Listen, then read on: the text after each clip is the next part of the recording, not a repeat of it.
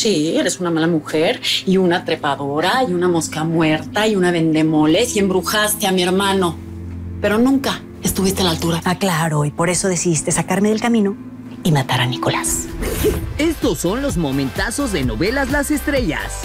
Momentazo número uno. Visita inesperada. ¿Y eso? Es algo que usé mucho en el centro comunitario. ¿Para qué lo necesita? Sé que va a sonar extraño, pero quiero hacer una especie de esquema con todo lo que ha pasado desde el día del accidente. Ah, bueno, no, pues entonces en lo que usted lo arma, voy a hacer unos guisos de muestra para llevarle a la señora Vilchis. Sí, sí. Seguramente es clave, yo abro. ¿Sí? Gra- Sí, sí, sí. gracias, gracias. ¿Qué se te ofrece?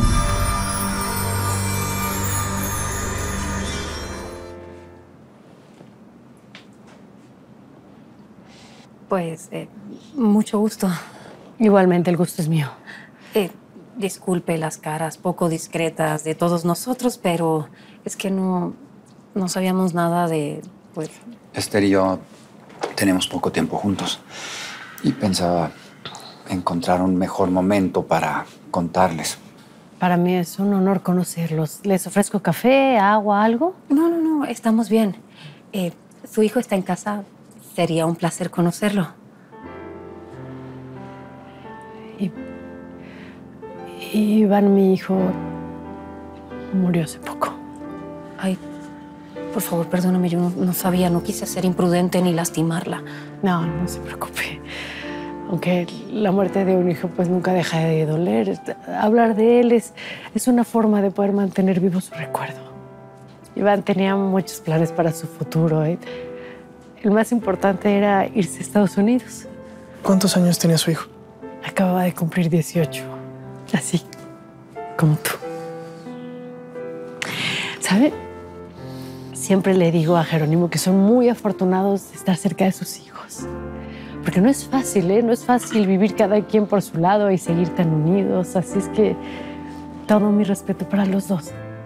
Por la forma en la que aman y respetan a sus hijos. Y, y además se ve que son muy buenos muchachos. Sí, bien buenos.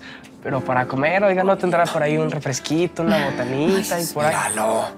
Vente para acá. Vente para acá. A ver, ay, Que nos encontramos. Pero pasen, pasen por favor a sentarse. Gracias. Están en su casa. Gracias. Momentazo número dos. Último adiós.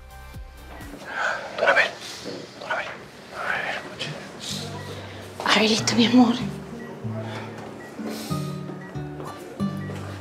Abel. Mi Abelito. Mi amor. Mi cielo. ¿Eh? Sí, ¿Qué pasó? mi amor. ¿Eh? Perdona por darte este dolor, Conchita. ¿Cuál dolor? ¿Cuál, mi vida? ¿Cuál? Y por no cumplir mi promesa de quedarme siempre. Pero por favor, no me digas eso, Abel. Siempre vamos a estar juntos. Y el día que nos vayamos, nos vamos juntos. ¿Eh? Somos los mejores danzoneros. Acuérdate, no me puedes dejar. Y además, los churros con chocolate. Y tenemos que volver a Veracruz. Y tenemos que viajar mucho. Y tenemos que seguir amándonos como nos amamos. Tienes que luchar, Abel. No luchar. Estás aquí conmigo. Te vas a quedar aquí conmigo. ¿Oíste? Te vas a quedar aquí conmigo. Conchita, Mm. mi amor, se queda contigo, Conchita. Siempre. Gracias por el enorme regalo que me diste. Tu corazón, tu compañía, tu amor. Me hiciste el hombre más feliz. Y tú a mí. Y tú a mí me vas a seguir haciendo muy feliz.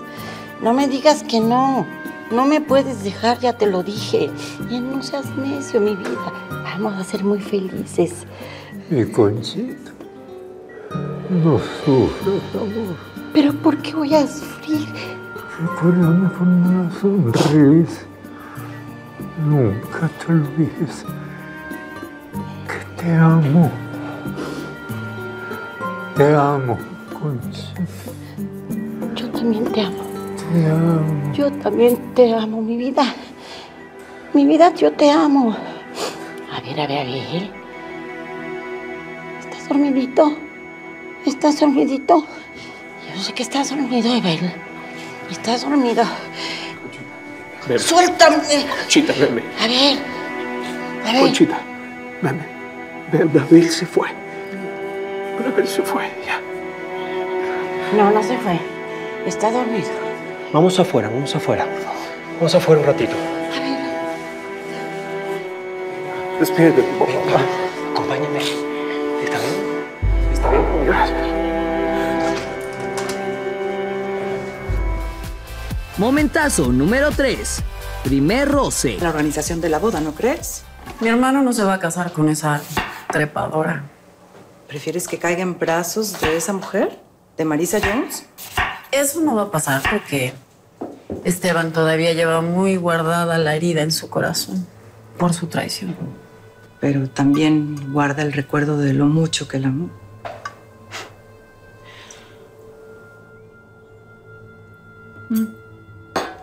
Acaba de preparar la cena, ¿sí? Voy a salir. Gracias, padre.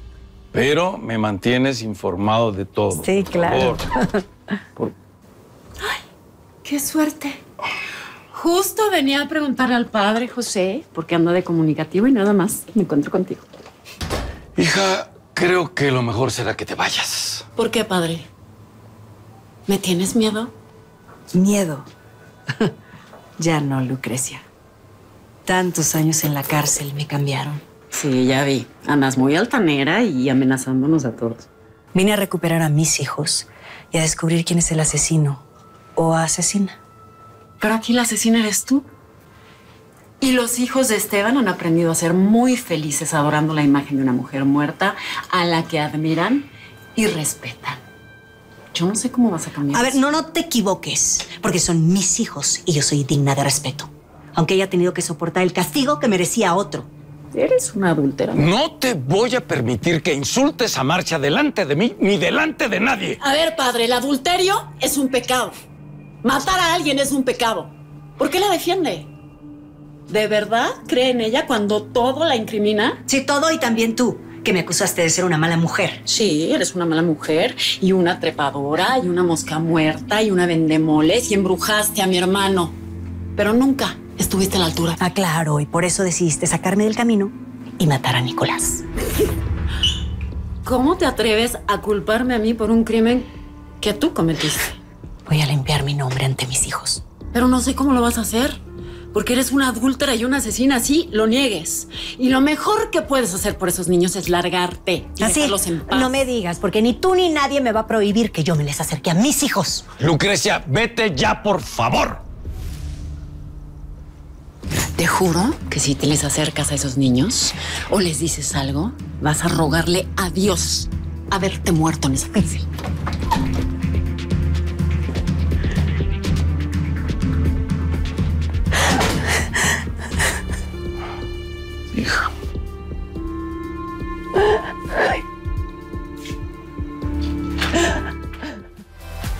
¿Cuál fue tu momentazo favorito?